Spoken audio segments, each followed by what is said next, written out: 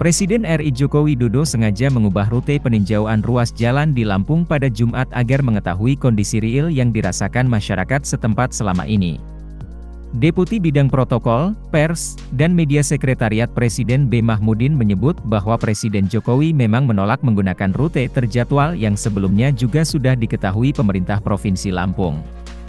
B menambahkan bahwa jalur yang disiapkan memang belum sepenuhnya diperbaiki, tapi sudah mengalami perbaikan yang tidak permanen.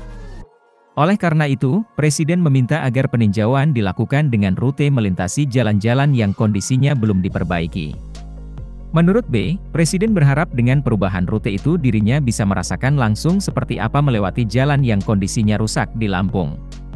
Diketahui Presiden secara tiba-tiba memilih meninjau ruas Jalan Raya Seputih Raman di Kecamatan Seputih Raman, Lampung Tengah, kendati awalnya diagendakan meninjau infrastruktur di Rumbia.